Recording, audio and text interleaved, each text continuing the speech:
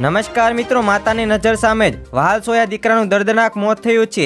સુરતના પાંડેસરા ભેસ્તાન વિસ્તારમાં દિવ્યાંગ પરિવારના પુત્રનું આઈસર ટેમ્પા નીચે કચડાઈ જતા મોત થયાની ઘટના સામે આવી છે. બાળક ફૂટપાથ પર રમી રહ્યો હતો ત્યારે માતાની આંખ સામે જ ટેમ્પો ચાલકે પાંચ વર્ષીય બાળકને કચડી નાખતા મોત નીપજ્યું હતું. બનાવને લઈને પરિવારમાં શોકનો ગરકાવ થઈ ગયો હતો.